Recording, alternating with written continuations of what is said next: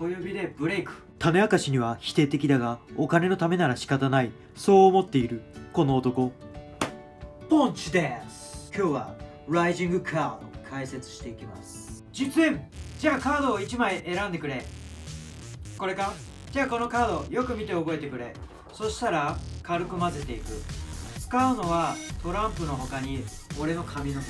髪の毛を巻きつけてそして引っ張るんだ。そうするとカードが1枚上がってきただろ。うそしてこのカードあなたが選んだスペードの9解説していくぜ。ライジングカードっていうのはその名の通りカードが上がってくる現象のことを言う。今日やったものはこういう感じのものだ。人差し指で一番下のカードを見えるかな？これわかるかこう持ち上げてくるってやつなんだけど1枚だけ取ってこのまま押して親指のこの辺りがね支点になってここで押さえつけて上に持ち上げるっていうものだ、まあ、そんなに難しいものではない。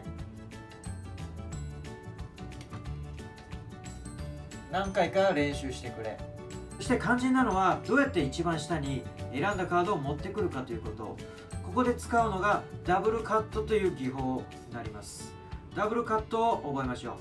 ダブルカットというのはまあ2回カットするっていうことなんだけどカードのコントロールに使います。今日の場合は一番下に持っていきたいんでカードを選ばせます。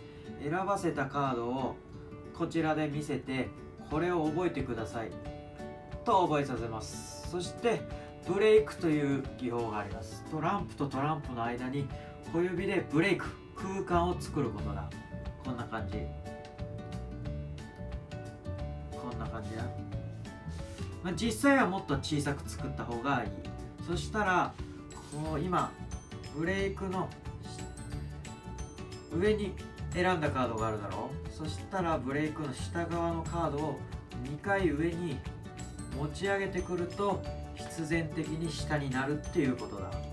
もう一回やってみよう。でこの場合ダイヤの6を覚えたとする。ブレイクを作る。そしたらブレイクより下の束をまず半分上に持ち上げる。そして残りを全て上に持ち上げると下になるっていうわけだ。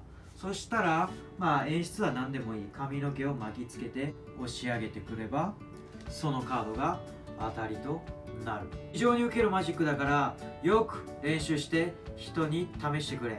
以上また明日。バイバイ。あちなみにダブルカットで一番上にコントロールすることも可能だぜ。自分で考えてやってみてくれ。じゃあね。